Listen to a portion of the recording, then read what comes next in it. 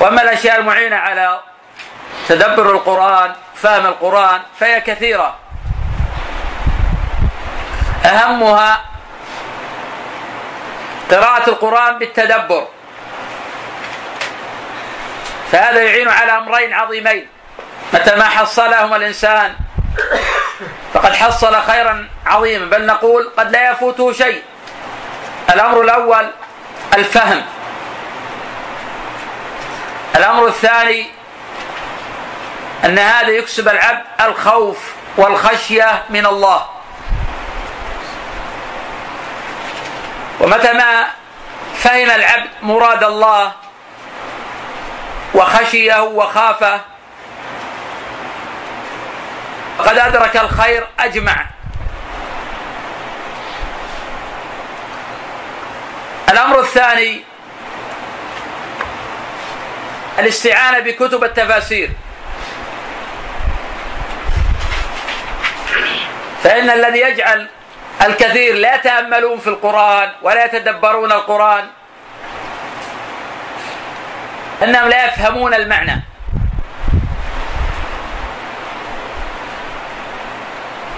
التدبر يجلب مسألة الفهم.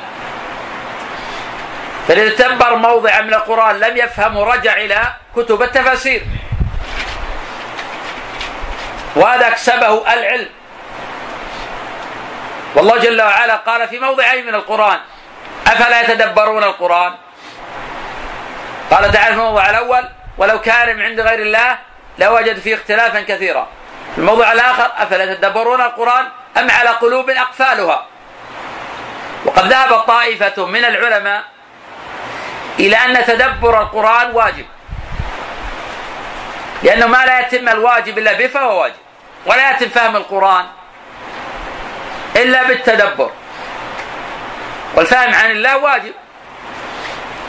قد ذكر ابن القيم رحمه الله تعالى في المدارج الأسباب العشرة الجالبة لمحبة الله. وذكر من ذلك قراءة القرآن بالتدبر. بمنزلة الكتاب الذي يفد إليك. الكتاب الذي يفد إليك الآن تتأمله وتتدبر المطلوب من هذا الخطاب من هذا التوجيه. فليس يتأمل كلام الله جل وعلا. وتدبر المطلوب منه. لأنه لا يمكن أن يعمل وهو لا يفهم. والعلم يسبق العمل. فإن الله جل وعلا يقول فاعلم أنه لا إله إلا الله. فبدأ بالعلم قبل القول والعمل. والإنسان يقول في كل صلاة غير المغضوب عليهم ولا الضالين. يقول اهدنا الصراط المستقيم. هذا صراط المنعم عليهم. من النبيين والصديقين والشهداء والصالحين. غير المغضوب عليهم هم اليهود. معهم علم ولم يعملوا بعلمهم. والضالين النصارى يتعبدون الله على جهل. فأنت تسأل الله جل وعلا أن يجنبك طريق المغضوب عليهم وهم اليهود وطريق النصارى.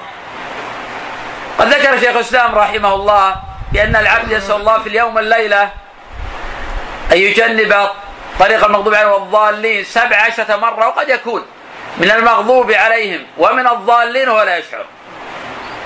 إما أنه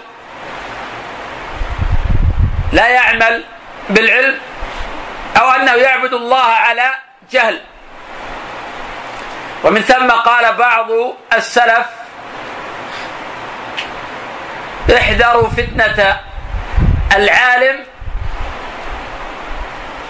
الفاجر والعابد الجاهل فإن فتنتهما فتنة لكل مفتون. وقال سفيان رحمه الله من فسد من علمائنا ففيه شبه من اليهود ومن فسد من عبادنا ففيه شبه من النصارى. فمن فسد من العلم في شبه من اليهود لأن معه علم ولم يعمل به. ومن فسد من عباد لأنه يعبد الله على جهل. أسباب وجود الضياع في كثير من المسلمين أسباب وجود جماعات على نسق طريقة أهل الجاهلية كالصوفية وأمثالهم هو الجهل. هذه نشأت تحت غطاء الجهل وتحت عباءة أهل الأهواء. والجهل ينتج في الأمة كل رذيلة. ولذلك يقول عمر بن عبد العزيز رحمه الله تعالى يوصي الناس بالعلم. وأنه أفضل من العبادة وضرب مثلا بالخوارج. فإن الجهل جرهم إلى أن حملوا السلاح وقاتلوا أصحاب رسول الله صلى الله عليه وسلم. وما حملهم على ذلك إلا الجهل ولو كان عنده الواحد علم ومثقال ذرة من عقل ما حمل السلاح في وجه علي رضي الله عنه وعلي مشهود له بالجنة. عقل عقل يدل هذا مشهود له بالجنة اتبعه. هذا العقل. فضلا عن النقل. ولكنه الجهل يرون أنفسهم أعلم منه وأفهم بكتاب الله وهم لا يفهمون شيئا. ولو كان عندهم علم لحجزهم عن ذلك. هذا مجرد استطراد على سؤال الأخ. من الأشياء المعينة على تدبر القرآن أن الإنسان يعلم أن التدبر واجب. فإذا عرف أنه واجب حمل ذلك على وجوب التدبر. ومن ذلك أن يعلم بأنه بدون التدبر لا يمكن يحصل خشوع وخشية وإنابة وبكاء. إلا إذا يفهم الخطاب ما ما يبكي. لأنه ما يدري ماذا يقول المتكلم. ولا يدري ماذا يراد منه في هذا الخطاب.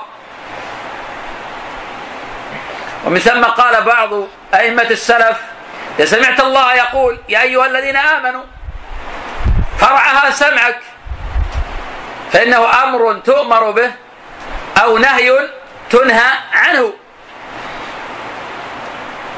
ومن أسباب تدبر القرآن وأسباب الجانب أيضا لمحبة الله جل وعلا أن هذا عبادة وقربة لله جل وعلا. إذا عرف العبد أن التدبر قربة لله يتدبر ويتأمل.